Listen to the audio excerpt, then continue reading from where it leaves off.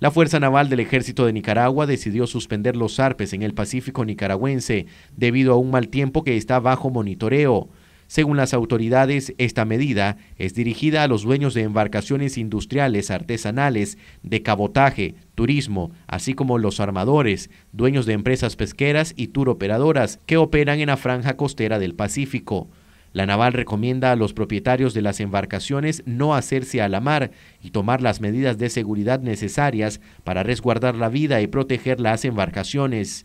Indican que las capitanías ubicadas en Corinto, Potosí, Puerto Sandino, San Juan del Sur, puestos de control de embarcaciones y puestos de tropas navales no emitirán zarpes a las embarcaciones que tengan como destino a mar abierto, los bancos de pesca y comunidades costeras, hasta nuevo aviso.